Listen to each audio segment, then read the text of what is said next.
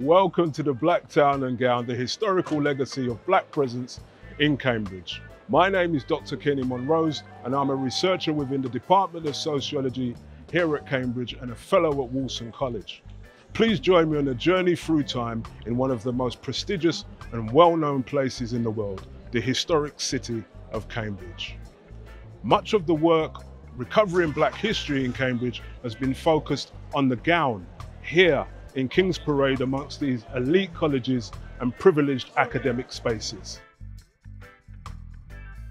While the ornate historic buildings of Cambridge tell important stories about the first black students who matriculated at the university and the relationship between knowledge and power, it is only half of the story. For many, the town, or the cultural centre of Cambridge, is situated here in Mill Road where black presence is often overlooked. Our journey will take us to the Devonshire Arms, to Orleans Cafe Kitchen, and to Norfolk Street, where we question why the history of black presence in Cambridge has often been overlooked by the university. This journey intends to bring both of these sides together and examine how black presence has shaped this amazing city.